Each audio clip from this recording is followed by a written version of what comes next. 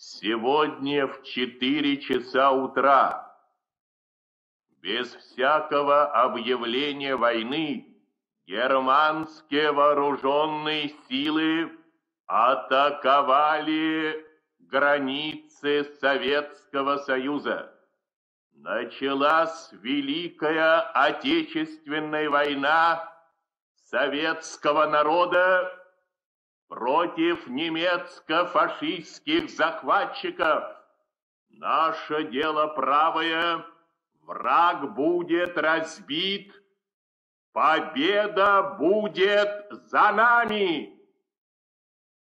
Эти слова диктора Юрия Левитана, как и 82 года назад, заставляют вздрогнуть. Они знаменовали собой страшные события начала самой кровопролитной войны. Ежегодно 22 июня в 4 часа утра в городах России проходит акция памяти. Более 31 тысячи солдат и офицеров ушли на фронт со Щелковской земли. Домой не вернулись 8345 наших земляков. В нашем городе День памяти и скорби символично начался в 4 часа утра. На аллею памяти к вечному огню пришли представители ветеранских организаций и трудовых коллективов. Мероприятие продолжилось на набережной Серафима Саровского.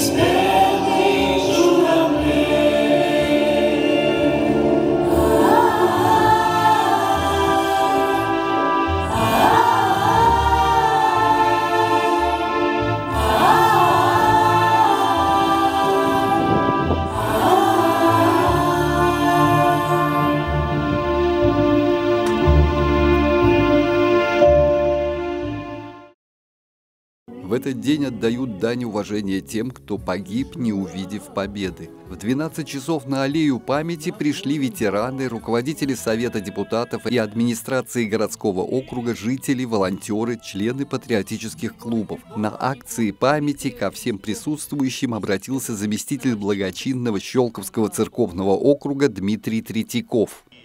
Мы должны быть действительно благодарными потомками. Это воспоминания страшных событий оно должно отзываться в нашем сердце прежде всего благодарностью, которая должна приводить нас к тому, чтобы мы занимались созиданием мира вокруг нас. Как и по всей стране, в Щелкове в 12 часов 15 минут прошла минута молчания.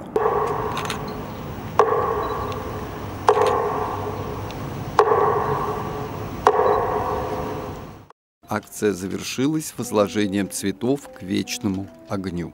Андрей Цеханович, Сергей Василевский, Александр Аржевский, Щелковское телевидение –